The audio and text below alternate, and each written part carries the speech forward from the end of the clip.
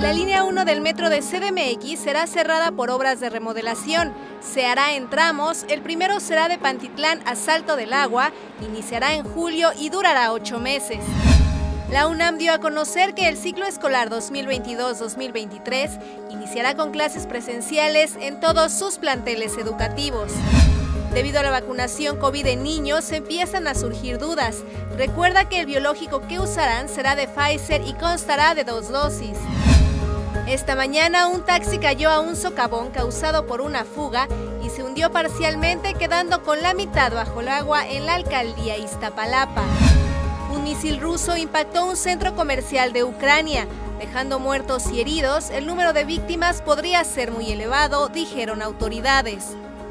Consulta más noticias en www.unotv.com.